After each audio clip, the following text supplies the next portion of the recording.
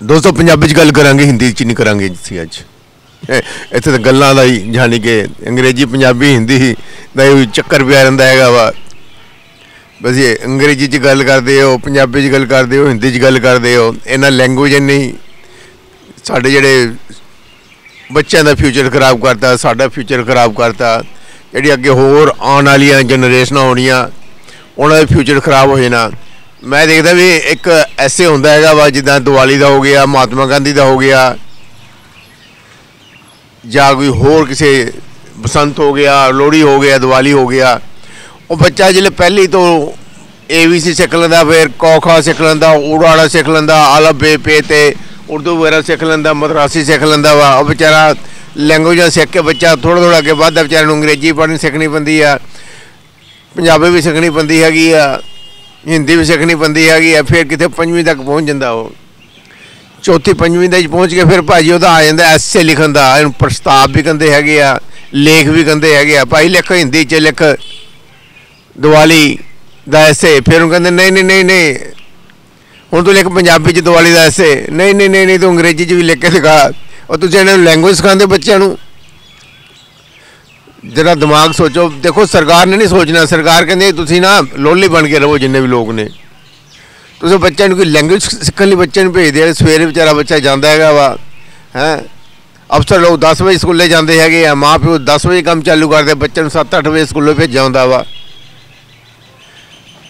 ਅਫਸਰ ਲੋਕ 4-5 ਵਜੇ ਛੁੱਟੀ ਕਰ ਲੈਂਦੇ ਆ, ਬੈਂਕ ਬੰਦ ਹੁੰਦੇ ਆ, ਦਫ਼ਤਰ ਬੰਦ ਹੋ ਜਾਂਦੇ ਆ, ਬੱਚੇ ਵਿਚਾਰੇ ਸਕੂਲੋਂ ਆਉਣ ਤੋਂ ਬਾਅਦ ਫਿਰ ਲੱਗੇ ਹੁੰਦੇ ਟਿਊਸ਼ਨਾਂ ਤੇ ਚਲੇ ਜਾਂਦੇ ਹੈਗੇ ਆ। ਉਹ ਜਦ ਤੁਸੀਂ ਐਡੇ ਐਡੇ ਬੜੇ ਲੋਂਠੇ ਹੋ ਗਏ ਐਸ ਪ੍ਰਸਤੀ ਕਰਦੇ ਪਏ ਹੋ ਬੰਦਿਓ ਆ ਬੱਚਿਆਂ ਨੂੰ ਤੁਸੀਂ ਕਿਹੜੇ ਪਾਸੇ ਪਾਤਾ ਹੋਏ? ਕੀ ਸਿਖਾਉਂਦੇ ਪਏ ਹੋ? ਐਸੇ ਸਿਖਾਉਂਦੇ ਇਹਨਾਂ ਨੂੰ ਦੀਵਾਲੀ ਦਾ। ਕਦੀ ਅੰਗਰੇਜ਼ੀ 'ਚ ਲਿਖ ਲਾ, ਕਦੀ ਪੰਜਾਬੀ 'ਚ ਲਿਖ ਲਾ, ਕਦੀ ਤਮਿਲ 'ਚ ਲਿਖ ਲਾ, ਕਦੀ ਹਿੰਦੀ 'ਚ ਲਿਖ ਲਾ। ਨਹੀਂ ਲੈਂਗੁਏਜ ਸਿੱਖਦੇ ਬੱਚੇ ਕੀ ਸਿਖਾ ਰਹੇ ਤੁਸੀਂ ਇਹਨਾਂ ਨੂੰ? ਉਹ ਵਿਚਾਰੇ ਬਚਪਨ ਤੋਂ ਲੈ ਕੇ 18 ਸਾਲ 17 ਸਾਲ ਤੱਕ ਦੇ ਬੱਚਿਆਂ ਦਾ ਅਜੇ ਹਾਲ ਕਰ ਦਿੱਤਾ ਕਿ ਸੀਬੀਐਸਈ ਲੈ ਲਓ ਆ ਸਟੇਟ ਬੋਰਡ ਲੈ ਲਓ, ਜੇ ਹੋਰ ਜਿਹੜੇ ਵੀ ਬੋਰਡ ਹੈਗੇ ਆ ਤੁਹਾਨੂੰ ਪਤਾ ਨਹੀਂ ਹੈਗਾ ਕਿਹੜੇ ਬੰਦੇ ਮੈਨੂੰ ਮੈਂ ਆਈਐਸ ਅਫਸਰ ਪੀਸੀਐਸ ਅਫਸਰ ਆਈਪੀਐਸ ਅਫਸਰ, ਨੇਤਾ ਲੋਕ ਪਹਿਲੇ ਆਂਢ ਗੁਆਂਢ 'ਚ ਆਪਣੇ ਆਪ ਨੂੰ ਝਾਕੀ ਮਾਰ, ਤੁਸੀਂ ਹੈ ਕੀ ਚੀਜ਼ ਹੋ? ਮੈਂ ਨਾ ਰੋਜ਼ ਲੋਕਾਂ ਨੂੰ ਮਿਲਦਾ ਹੈਗਾ ਵੀ ਜਿਹੜੇ ਰਿਟਾਇਰ ਬੰਦੇ ਹੈਗੇ, ਕੋਈ ਅਫਸਰ ਲੋਕ ਜਿਹੜੇ ਰਿਟਾਇਰ ਹੋਏ ਨੇ। ਜਦ ਉਹਨੇ ਵੱਲ ਦੇਖਦਾ ਨਾ, ਯਾਰ ਮੈਂ ਇਹ ਬੰਦੇ ਸੀ ਜਿਨ੍ਹਾਂ ਨੇ ਸਾਡੇ ਦੇਸ਼ ਦੇ ਵਿੱਚ ਸਾਡੇ ਵੇਲੇ ਜਿਹੜੇ ਅਫਸਰ ਸੀ ਇਹ, ਜਦ ਅਸੀਂ ਬੱਚੇ ਸੀਗੇ, ਅੱਜ ਰਿਟਾਇਰ ਹੋ ਗਏ ਨੇ। ਯਾਰ ਪਹਿਲੇ ਨਾ ਐਨਾਲਿਸਿਸ ਕਰੋ, ਪਹਿਲੇ ਤੁਸੀਂ ਇਹ ਸੋਚੋ ਕਿ ਅਸਾਂ ਕੀ ਕਰ ਰਹੇ ਹੈਗੇ ਆ। ਪਹਿਲੇ ਕੋਈ ਪਲਾਨਿੰਗ ਹੁੰਦੀ ਨਾ ਹਰ ਚੀਜ਼ ਦੀ ਤੇ ਪਲਾਨਿੰਗ ਨਹੀਂ ਬਣਦੀ ਤੇ ਪੈਸੇ ਬਣਦੇ ਨੇ। ਇਹ ਤੇ ਪੈਸਿਆਂ ਦਾ ਸਿਸਟਮ ਚੱਲਦਾ ਹੈਗਾ ਵਾ। ਯਾਰ ਤੁਸੀਂ ਅੱਜ ਵੀ ਸੋਚਿਓ ਬੈਠ ਕੇ ਕਿ ਬੱਚੇ ਨੂੰ ਖੁੱਲਾ ਛੱਡ ਦਿਓ ਯਾਰ ਖੇਲਣ ਦਿਓ, ਕੁੱਦਣ ਦੇ ਜੋ ਮौज ਕਰਨ ਦੇ ਕੁਝ ਨਾ ਕੁਝ ਤਾਂ ਬਣ ਹੀ ਜਾਊਗਾ ਉਹ। ਜੇ ਤੁਸੀਂ ਉਹਨੂੰ ਆਪਣੀ ਉਂਗਲੀ ਦੇ ਨਚਾਓਗੇ ਨਾ, ਉਹ ਤਾਂ ਕੱਠ ਪੁਤਲੀ ਆ, ਫਿਰ ਉਦਾਂ ਹੀ ਨੱਚੋਗੇ ਜਿੱਦਾਂ ਸਰਕਾਰ ਨਚਾ ਰਹੀ ਹੈਗੀ ਹੈ ਤੁਹਾਨੂੰ। ਕਦੀ ਐਸੇ ਲਿਖ ਦਿਓ, ਭਾਈ ਤੁਸੀਂ ਦੁਸਹਿਰੇ ਦਾ ਲਿਖ ਲਓ। ਬਸੰਤ ਦਾ ਲਿਖਦੇ ਦਿਓ ਅੰਗਰੇਜ਼ੀ 'ਚ ਹਿੰਦੀ 'ਚ ਪੰਜਾਬੀ 'ਚ ਉਰਦੂ 'ਚ ਤਮਿਲ 'ਚ ਮਦਰਾਸੀ 'ਚ। ਅਰੇ ਯਾਰ ਤੁਸੀਂ ਕੀ ਕਰਦੇ ਪਏ ਹੋ? ਕੀ ਤੁਹਾਡੀ ਸੋਚ ਹੈ ਹਿੰਦੁਸਤਾਨ ਸਰਕਾਰ ਦੀ? ਅੱਛਾ ਐਮਐਲਏ ਤੁਹਾਡੇ ਮਹੱਲੇ ਦੇ ਹੁੰਦੇ ਆ, ਕਿੰਨੇ ਕੁ ਅਕਲਮੰਦ ਹੁੰਦੇ ਨੇ ਇਹ? ਜਿਹੜੇ ਅਫਸਰ ਲੋਕ ਕਿੰਨੇ ਕੁ ਅਕਲਮੰਦ ਨੇ ਇਹ?